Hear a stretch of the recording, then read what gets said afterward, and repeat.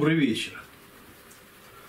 Мы сегодня вспомним еще об одном восточноевропейском писателе, поэте, драматурге Отоне Жупанчиче. Это славянский, э, или для нашего восприятия, по крайней мере, прошлого века, югославский поэт, довольно известный, родившийся в 1879 году, э, оставивший э, пятитомное собрание сочинений посмертное, которое было издано в 50-х годах э, прошлого века, а умер он в 1949 году, то есть в возрасте примерно 71 года. Э, мы должны сказать, что Утон Жупанчич по существу является, наверное, самым знаковым, самым крупным славянским поэтом, э, известным, э, по крайней мере, широко э, по всей Европе, поэзия которого переводилась на различные европейские языки. Более того, он известен также еще и тем, что переводил на славянский язык, э, на некоторые другие языки э, произведения очень большого количества европейских э, писателей, английских, французских, ну и даже греческих, датских и многих-многих других. И в том числе переводивший э, поэзию русскую, классическую, в том числе Пушкина. Совершенно замечательный перевод на славянский язык, как отмечают э, историки литературы э, сказки о царе Салтане Пушкинской, поэзию Лермонтова, Некрасова. Это стал возможным именно потому, что вот он Жупанчич э, по существу вырос и сформировался как поэт-модернист э, именно в Западной Европе. В основном это был Париж во Франции – и э, также э, ряд городов австрийских, где он э, после э, учебы, после завершения э, обучения э, в Люблинском университете э, долгое время жил, работал в разных совершенно качествах, и, соответственно, э, писал свои стихи, общался с э, довольно широким кругом европейских поэтов и писателей, прежде всего модернистов. И таким образом э, вошел, пожалуй, в когорту ведущих европейских модернистов начала XX века. Писать начал очень рано, э, приблизительно э, где-то в возрасте э, гимназическом. Причем в гимназии была целая группа молодых, талантливых гимназистов, из которых выросли впоследствии молодые поэты э, Словении.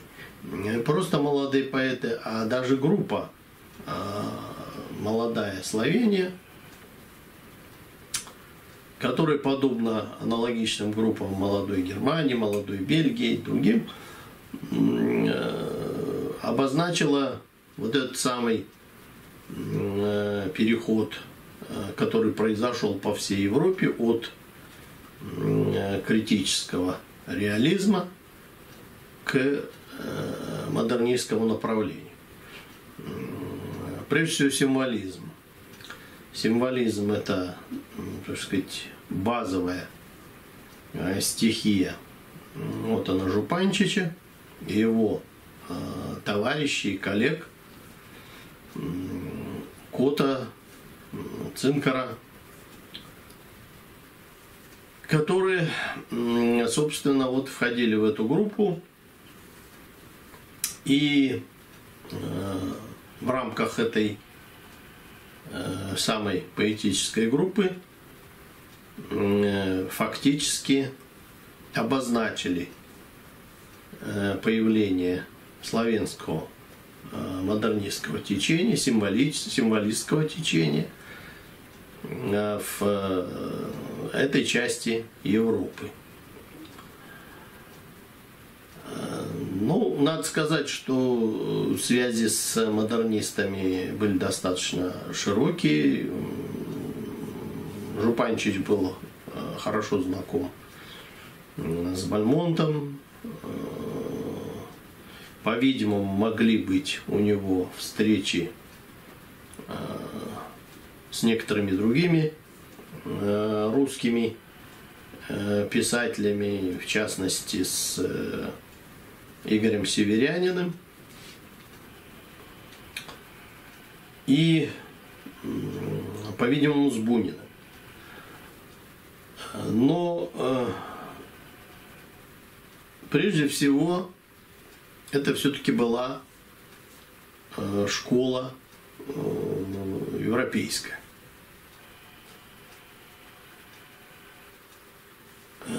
Поэтическое направление, которое для себя принял и которому следовал в своем творчестве. Вот он, Жупанчич, это, э, конечно, как я уже сказал, символизм. Впоследствии э, такое направление модернизма, как пантеизм. Ну, мы уже о нем говорили – это э, направление, посвященное Богу Пану и связанное с определенным очень э, открытым и дружественным отношением поэта к э, природе, к его, к ее скрытому в этой природе значению – которые, ну, пожалуй, где-то, так сказать, если говорить о пантеистской традиции, вообще возносит на природу на вершину бытия. То есть это такое космоцентрическое, природоцентрическое направление в э, позднем модернизме.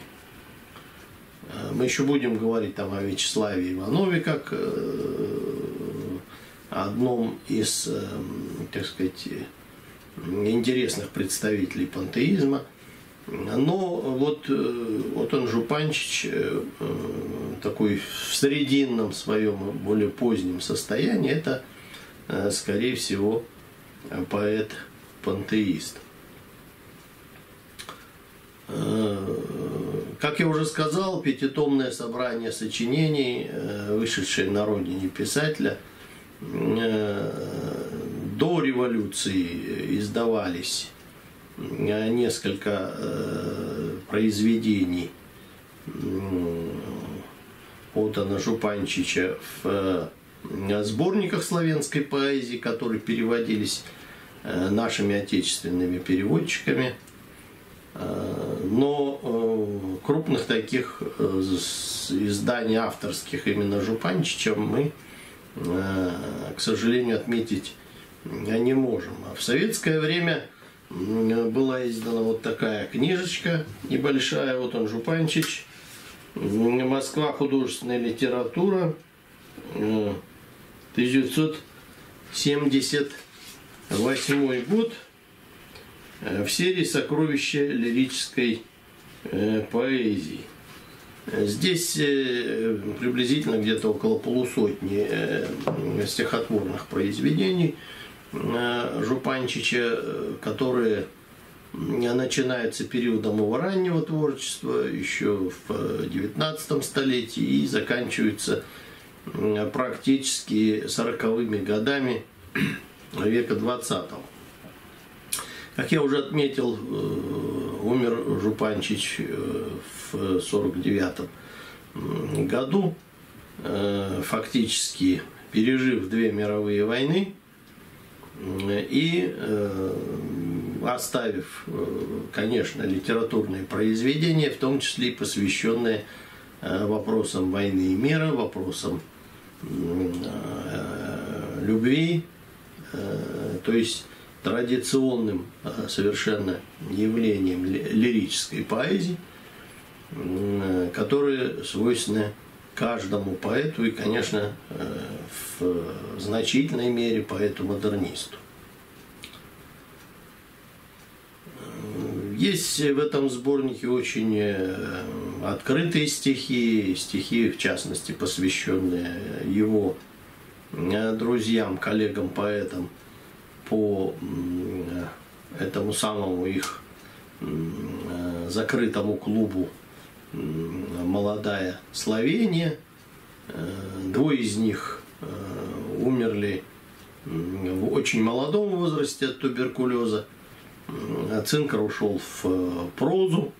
Ну, тоже, в принципе, в 18 году ушел из жизни. Поэтому Э, наиболее вот таким долгоживущим из этой группы э, представителем э, модернистской поэтической школы Словении XIX века оставался, конечно, Отон Жупанчич. Надо сказать, что мы, конечно, имеем в виду особенность самого символистского стихосложения, э, которое тоже представляет определенную сложность для восприятия. Кроме того, так сказать, есть сложность в переводе подобных произведений на русский язык. Поэтому э, эти стихотворения, несмотря на очевидную, в общем-то, их открытость э, тех смыслов, которые в них заложены, иногда довольно сложно воспринимается, так сказать, вот в той ритмике стиха, которая была заложена автором. Иногда теряются э, здесь, по крайней мере, в этом сборнике рифмы. Тем не менее, даже если мы э, переходим где-то на белый стих, мы все равно видим, что это произведение, которое Э, безусловно, э, несмотря на свое символистское, символическое содержание, говорит нам о совершенно сокровенных душевных переживаниях поэта, э, особенно в тех случаях, когда действительно оно посвящено памяти вот этих друзей поэтов, когда оно, это стихотворение поднимает Э, очень тонкие проблемы жизни и смерти, человеческой смерти ребенка, смерти любимой женщины. В общем, вот э, мрачных мотивов, мотивов, связанных с э, тяжелым образом жизни, со смертью, с болезнями, довольно много в этой поэзии. И вместе с тем здесь есть и поэзия довольно жизнерадостная, поэзия, воспевающая природу, как я уже сказал, э, всю ее красоту. И э, несмотря на символистские, э, так сказать, э, подходы к изображению э, действительности, мы тем не менее чувствуем вот эту тонкую душу э, славянского поэта Отана Жупанчича.